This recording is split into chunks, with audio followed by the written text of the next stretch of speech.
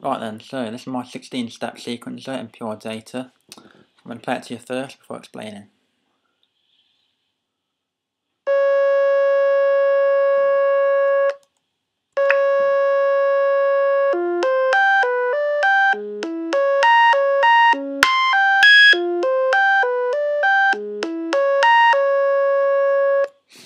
Right, so first off I'll explain that the lower left cold sends, the upper left cold inlet receives, and the upper right hot inlet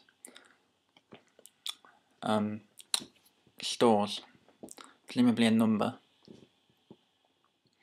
So it starts with a toggle box uh, or bang, and this sends the bang. Um, it all starts here.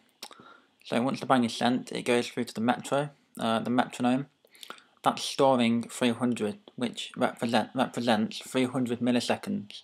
I have a load bang here, set to 300, so upon loading the patch, 300 milliseconds is already stored. And this can be changed, so I can change this to 100. So every 100 milliseconds, the bang will get sent, will send through. So, uh, yeah, you can see that. Right, so once uh, the bang's gone through to the metro and it knows that it's uh, well, it's now going through every 100 milliseconds, that gets sent through to the float, uh, which is sometimes abbreviated as F. Uh, this stands for floating point number. Uh, my float is uh, storing a plus one, so it adds one value, it adds another value on to the previous value every time it goes through.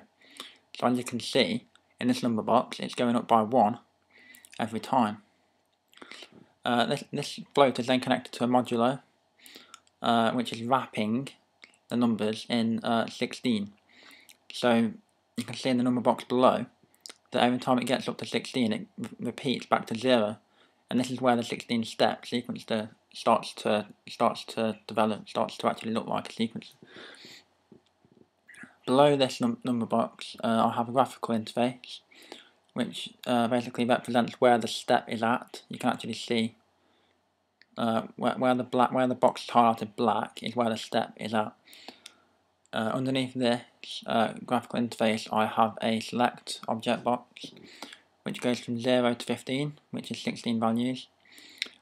Uh, each time the bang lands on the on the box or each time the bang lands on uh, the select 0, 1, 2, 3 uh, each time it lands on that in sequence, it gets sent to the float, which is storing a number, which is storing uh, the number. The number represents the pitch uh, or the frequency, uh, although it's actually the MIDI note.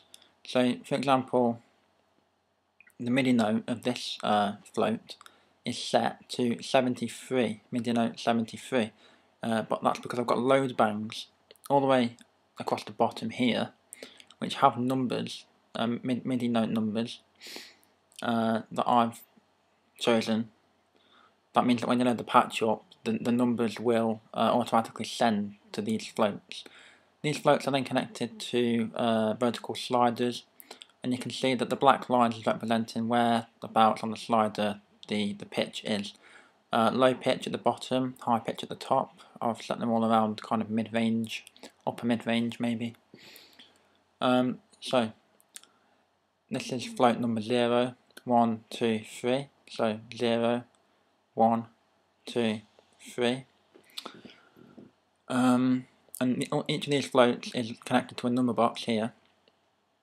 So whilst the um, patch is playing, you can actually see the numbers changing here. These are all of the uh, MIDI, this is all the MIDI data you can see.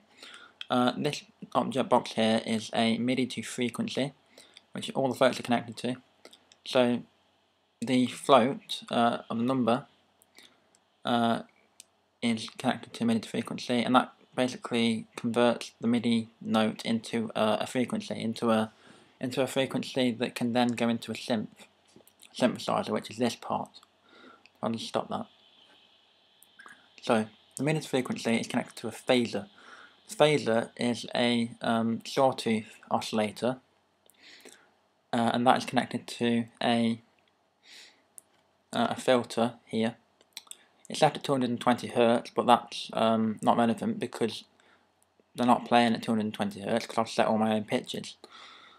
Uh, the MIDI frequency is also connected to a multiplier. Multiplied it by 1.5, which basically um, means an octave and a half above that of the phasor.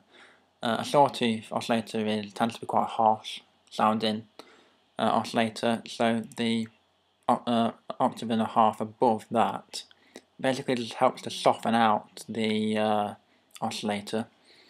Um, that's then going into the um, filter. It's actually a low pass filter. Um, it, it, stops the, the, the, low rumbles, if you like, from getting through, which can sometimes sound quite messy and, well, in some circumstances can actually break your speakers.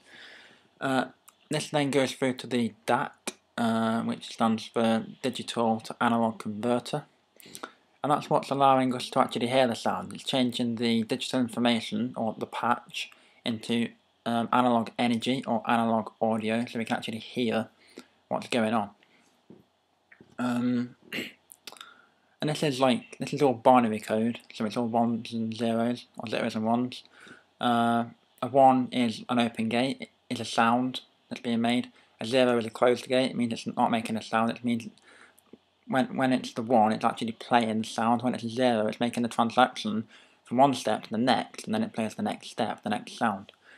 So, um, that is pretty much my 16 step sequencer explained.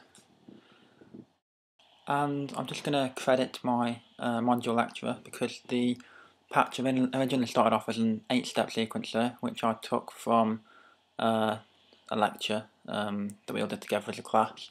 And I'm also going to credit uh, the Floss manual which is a, uh, an internet uh, source. Um, basically uh, building a 16 step sequencer, as you can see here this is what I use to help me uh, in discovering how to build a 16 step uh, sequencer